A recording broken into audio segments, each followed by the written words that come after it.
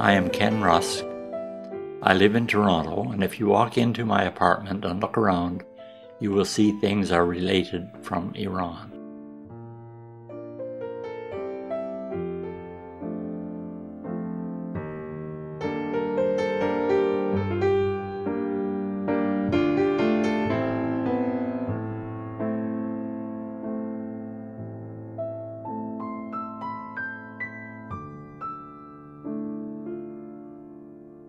July of 1971, we moved to Tehran as I was working for Ontario Hydro on a project to set up centralized control of the power system in Iran. Operation of the power system in Iran was not coordinated, with the result that there were frequent interruptions when independent action was taken. So Tavanir was using us and other international consultants to modernize the control of the power system.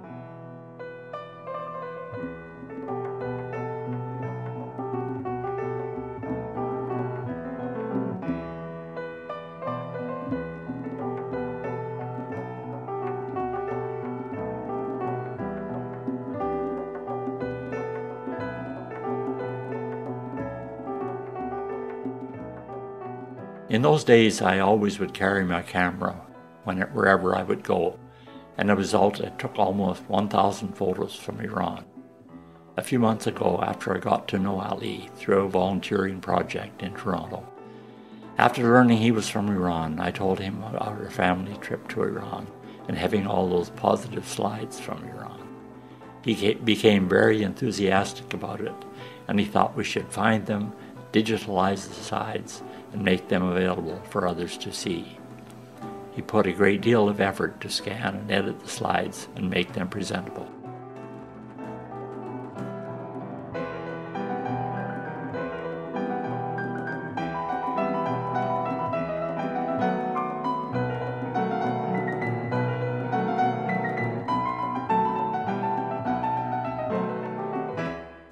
July 1971, I arrived in Mehrabad Airport in Tehran with my family. I remember Tehran was very hot even at midnight. From the airport, we took a taxi to a hotel called Semiramis on Avenue Roosevelt, close to the U.S. Embassy. We immediately started to look for accommodation without success. After connecting with some American expats, we used the services of their real estate agents and found a lovely ground floor apartment in Kuchi Haft, Davodiye, between Chehelopanj Metri Street and Zafar Street. The view from our balcony was downtown Tehran, and behind us was the Alborz Mountains, which we did not see for two months, as they were completely shrouded in dust and smog until after the first rain in September. They suddenly appeared in all their glory and we were excited when we saw that.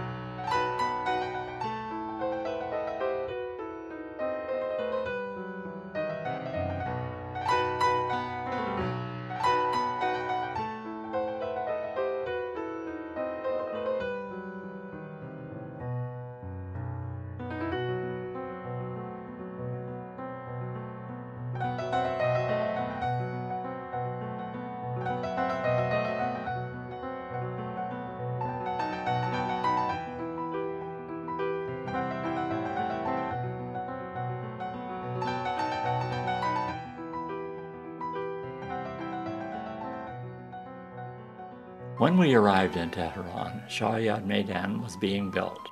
It was very striking. When someone comes into Iran from Mehrabad, seeing Shah-Yad Maidan on the way from the airport was an incredible introduction to all of the grand features of Iran.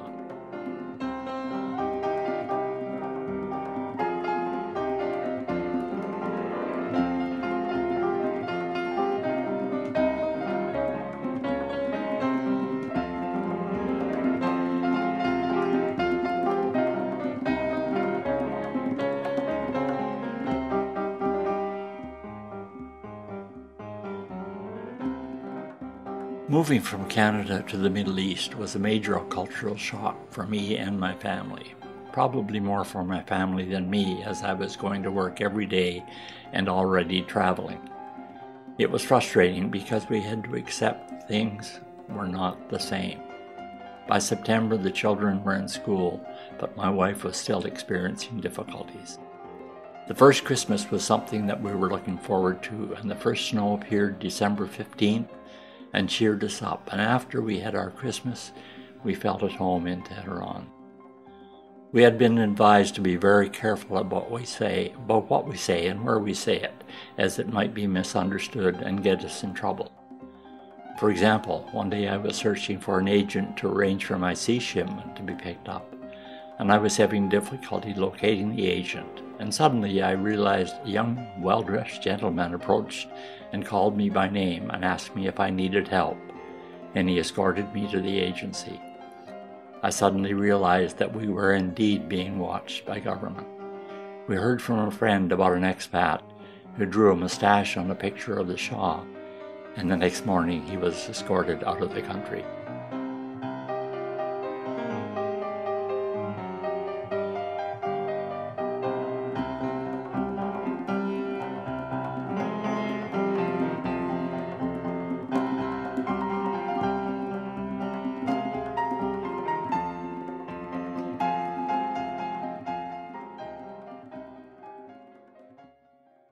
Since we have always been active church members, one of the first things we wanted was a place to worship.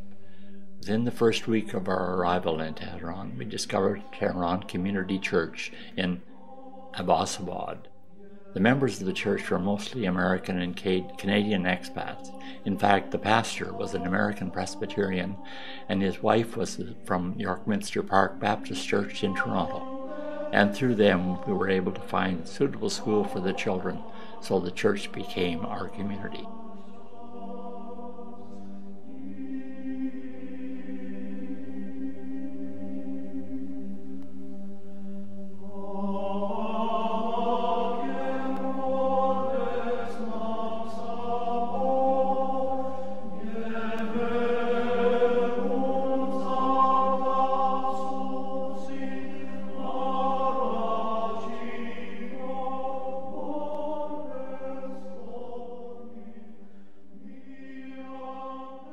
Tehran was more modern than what we expected. For example, everyday products that we needed were available. We really enjoyed the fresh fruits and vegetables that were available in local markets, and soon we discovered chello kebab and other Iranian dishes. We found the culture very tolerant to us as foreigners, but by the same token, we made certain that we respected their customs.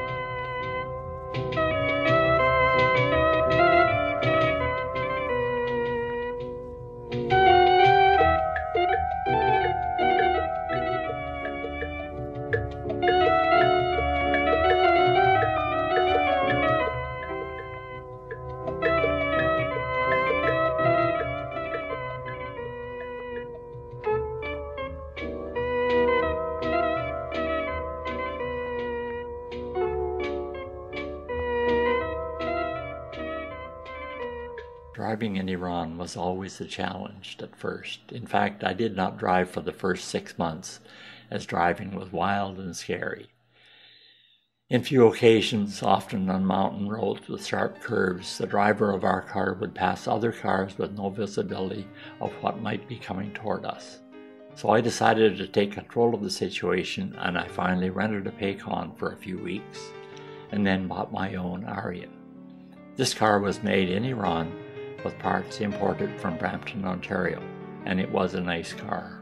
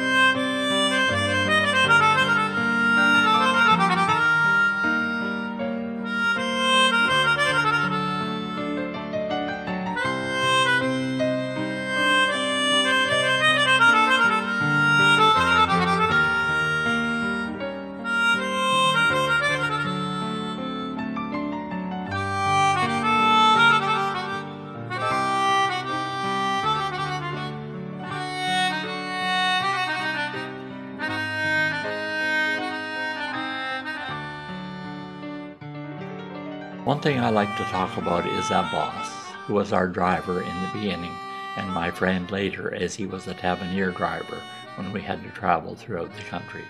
Then I got to know him personally.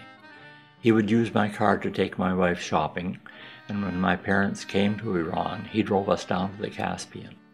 He was completely trustworthy. He knew my kids, and he was a great driver. And when he was driving my family, I knew they were in good hands, and often I wonder today where he is.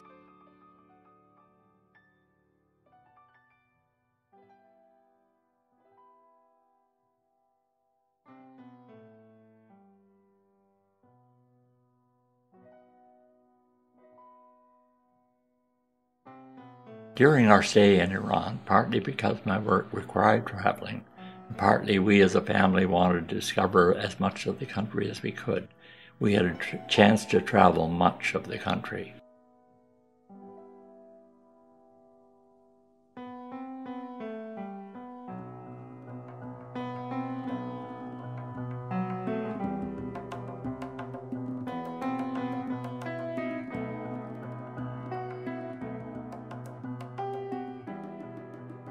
I remember Esfahan being so beautiful and clean. The mosque, the bazaar, Jahel And I remember, remember Si-o-se-pol over Zayanderud shining at night.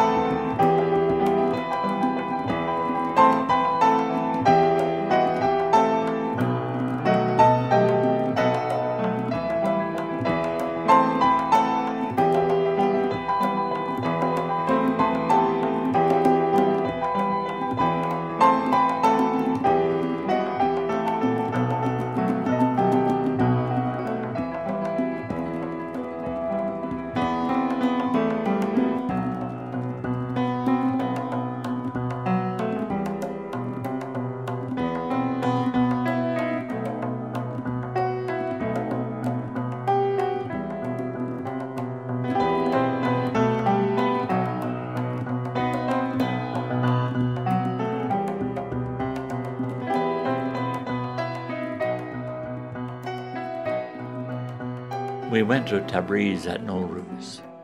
The most significant part of our visit was seeing the Silver Bazaar and getting to know, to know Mr. Vijay, who was an Armenian silversmith. He was such a nice gentleman. He explained to our kids how silver pieces were being made, and we bought a lot of them, and I still have them and intend to keep them.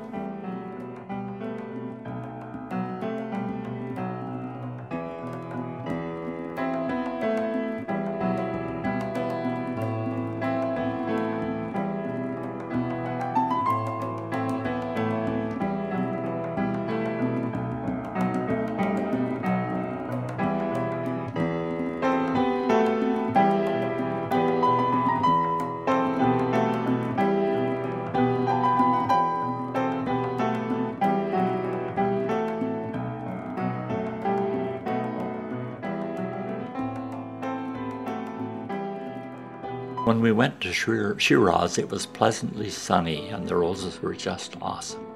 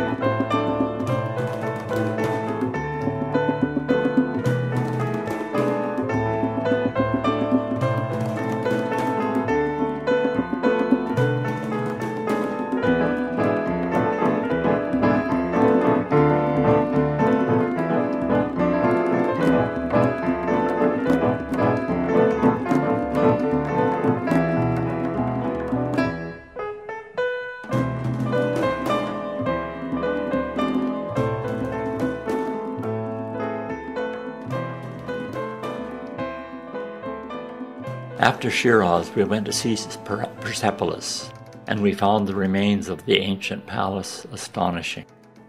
When we arrived there, they were being prepared for the 2500 celebration, so the tent city was being built. But there were no restrictions, meaning there was no high security yet.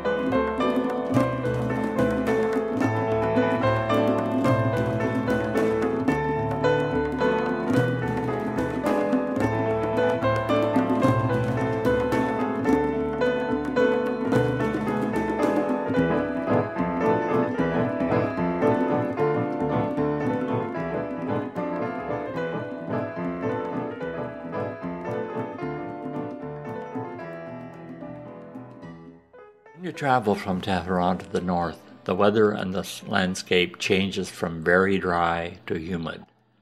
The sceneries of the mountains and the Caspian Sea was gorgeous. Seeing rice and tea farms and limu shireen and narangi trees were exciting to see completely different side of Iran. I remember the sand of the Caspian Sea was so hot that we had to wear flip-flops.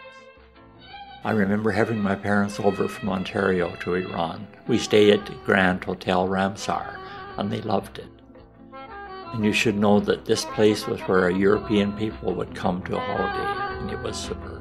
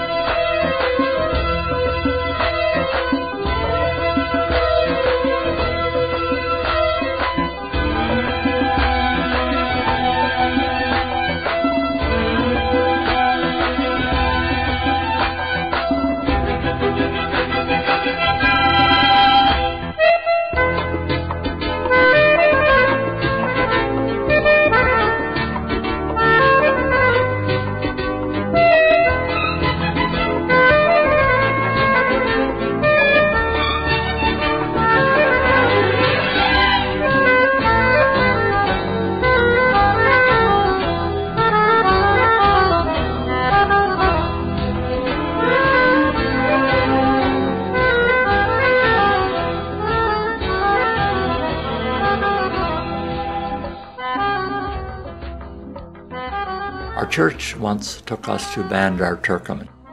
It was quite interesting to see how Iran is diverse with different appearance, dress, and culture. We went to Turkmen Bazaar and bought three carpets, which are still being used in our house.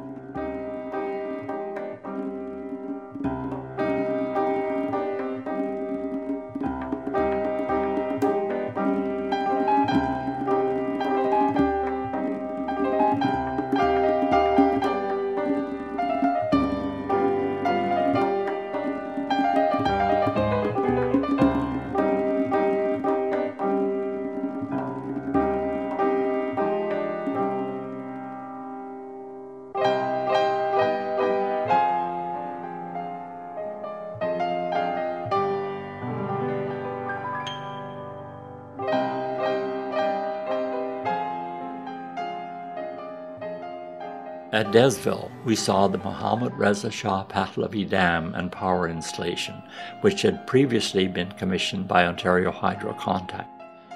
Taking photos of the dam and powerhouse was a big challenge, and the risk was great as they were taken from openings in the spiral tunnel down to the powerhouse level. The entire facility was heavily guarded and highly secured. I remember one day our friend rented a houseboat on the lake above the dam. Most of those in the houseboat swam, except for me.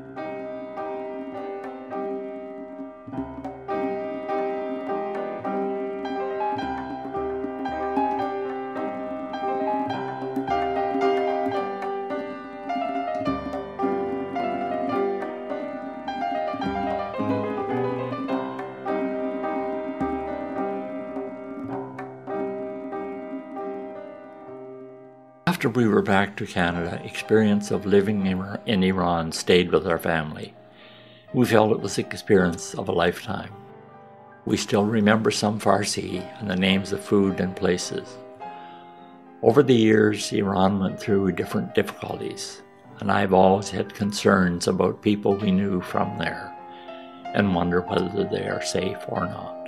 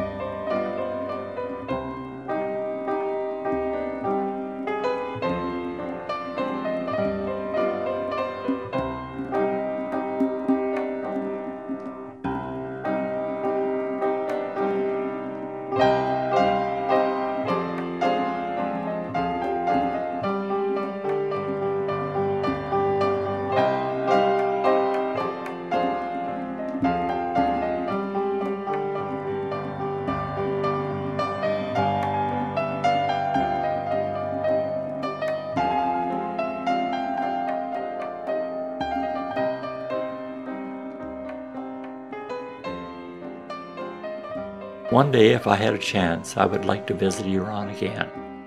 I think Iran is a beautiful country, and I hope things work out for the best for the people of Iran.